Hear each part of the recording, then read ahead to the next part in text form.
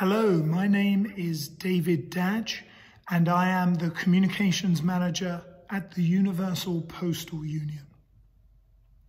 The Universal Postal Union recognizes that the COVID-19 pandemic poses tremendous challenges for postal operators and their partners in airlines, shipping and global logistics.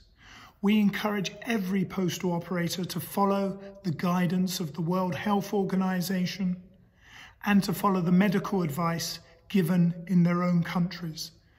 The health and safety of everyone is our first priority. The Universal Postal Union is also working closely with postal operators to ensure the safety of delivery items and to ensure that the cancellations of airline flights does not impact the delivery of postal items.